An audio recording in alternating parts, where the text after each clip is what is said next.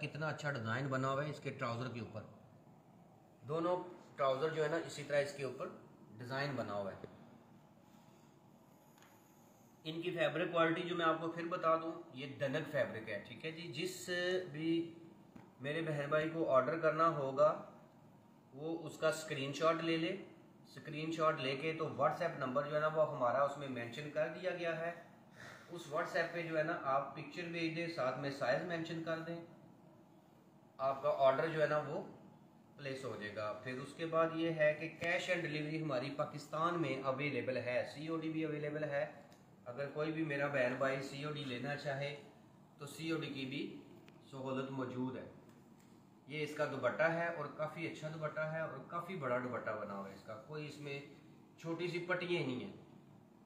Ready to wear suit है three piece और ये आपको मिलेंगे पच्चीस सौ रुपये में ट्वेंटी फाइव हंड्रेड में three piece suit ready to wear ये मैंने आपको दिखाया है इसका मीडियम साइज़ अभी मैं आपको इसके साइज़ बता देता हूँ, ये मेरे पास कौन से साइज़ रह चुके हैं आप इसमें?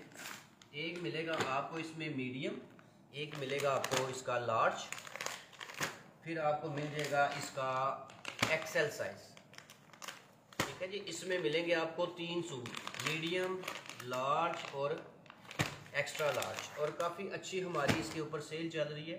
ट्वेंटी फाइव हंड्रेड में ready to wear three piece suit cash and delivery Pakistan में अवेलेबल है।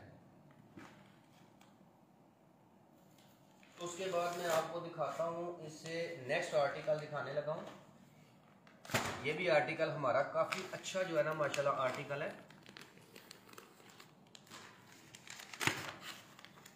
ये देखिए ये आर्टिकल मैं दिखाने लगा हूँ। इसकी कलर कम्बिनेशन इसका डिज़ाइन माशाल्लाह काफ़ी अच्छी लुक है इसमें ना।